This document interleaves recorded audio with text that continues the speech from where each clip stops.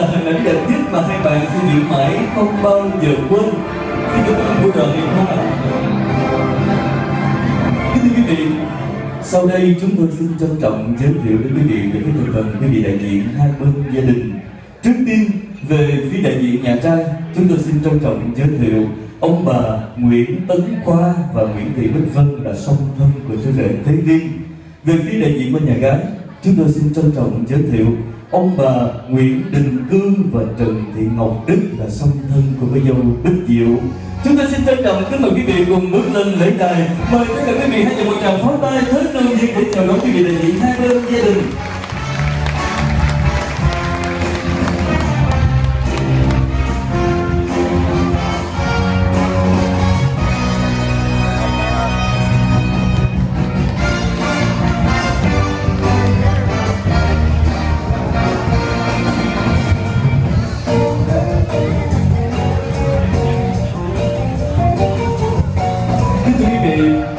Sau đây, chúng tôi xin dừng lời cho vị đại diện hai bên gia đình sẽ có đôi lời đề tỏ của quý vị trong ngày vui hôm nay.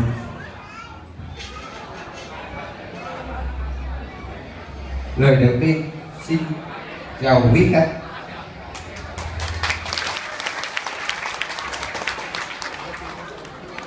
xin cảm ơn quý khách có mẹ quý tiệc cưới của hai con chúng tôi hôm nay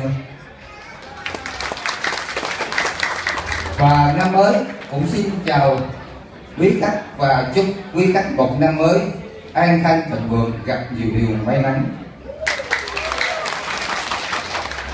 Và chúc quý khách một buổi tiệc ngon miệng và vui vẻ. Xin chân thành cảm ơn quý khách. Vâng, vừa rồi quý vị đã nghe những lời bày tỏ rất rất chân tình quý vị đại diện hai bên gia đình. Vâng, và bây giờ, để tỏ lòng tôi kính biết ơn những người sinh thành, cô dâu và chú rể sẽ cùng mời rượu cho tứ thân phụ mẫu.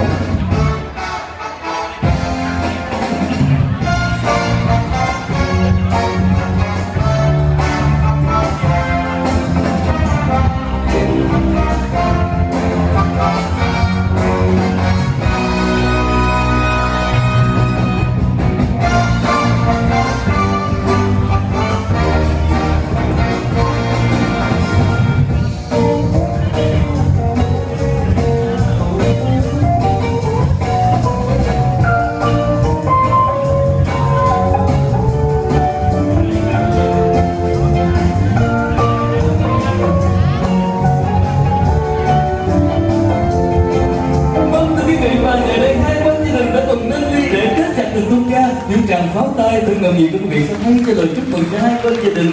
Sẽ có được châu thì để thảo. Chúng tôi xin cảm ơn quý vị đại diện hai bên gia đình. Và bây giờ kính mời quý vị cùng trở về bàn tân trúc xin cảm ơn.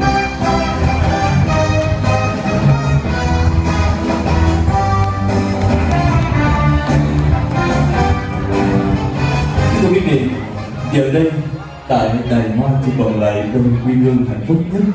Chúng tôi cũng xin một chút để chia sẻ với quý vị